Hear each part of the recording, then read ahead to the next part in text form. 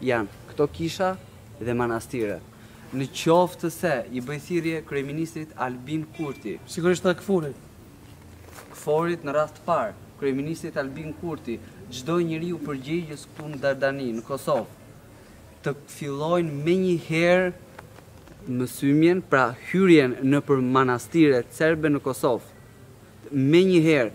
Jam njëqind për qind i sigurt që, nëse hyjmë në manastiret serbe, përveç kryqeve dhe ikonave, ne do të gjejmë edhe armatime dhe madje armatime të rënda.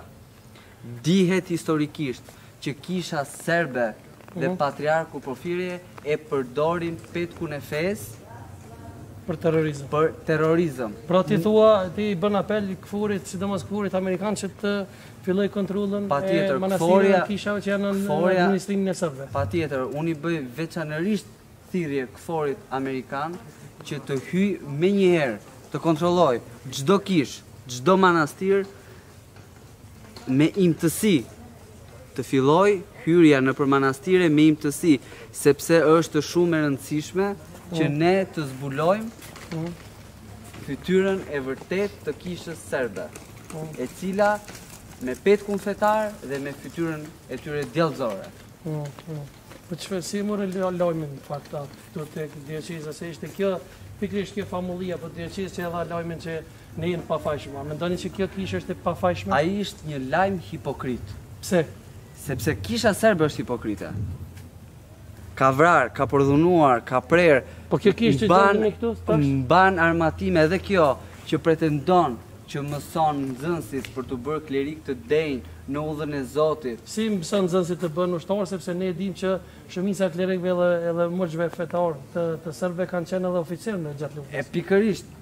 Kjo që pretendon që i mëson për Zotin, por faktikisht Kisha Serbe mëson nxënësit e saj në qendër të Kosovës, në qendër të Prizrenit, si të vrasin shqiptarët, si të mësojnë gënjejnë, si të tregohen hipokritë, është po Kisha Serbe e cila po e përsëris për të tretën herë nën petkun fetar dhe me fytyrën djallëzore dhe me kryqin përpara Tentojnë, tentojnë, fshehurazi, fusin armatime këtu brenda, edhe thonë ne jemi të pafajshëm. Zotëri, edhe zonja, edhe ju priftërinj serbë, po ju them, përballë, këtu më keni, ju nuk jeni të pafajshëm, ju jeni kriminelë, ju jeni vrasës të shqiptarëve, por dihet, por dihet, që ju nuk mund të bëni dot asgjë. Nuk mund të bëni dot asgjë. Atë Nikola është këtu, Kisha Kombëtare Shqiptare është këtu dhe kurrë, kurrë Kisha Ortodokse Kombëtare Shqiptare nuk do të ndalet përballë kësaj Kishe Serbe këtu. Kisha Serbe është Kisha që vret shqiptarët, që vret njerëzit. Ndaj Kisha Ortodokse Kombëtare Shqiptare ju bën thirrje, distanconi nga kjo kishë edhe do gjeni paqen. Sepse paqja është me shqiptarët dhe jo me fytyrat e krimit të këtyre këtu. Këta janë fytyra e krimit, këta janë banda, këta nuk janë priftëri, por janë vrasës. Zoti i bekoftë shqiptarët edhe zoti e bekoftë kishën e Fan Nolit dhe zoti i shkatërroftë dhe i mallkoftë këta njerëz. Por dihet që shqiptarët e dinë të vërtetën edhe e dinë se kush është e vërteta dhe siç e thashë e vërteta është që Kisha Serbe është organizatë terroriste dhe i bëj thirrje kryeministrit Albin Kurti dhe qeverisë së Kosovës të shpallin Kishën Serbe dhe të gjithë klerikët serbë non grata në Kosovë. Pra ti thua që të gjitha kishat që menaxhohen apo administrohen nga serbët në Kosovë duhet t'i bëhet një kontroll atyre nga KFOR-i? Patjetër. E thashë pak më sipër. Edhe kishat e thjeshta.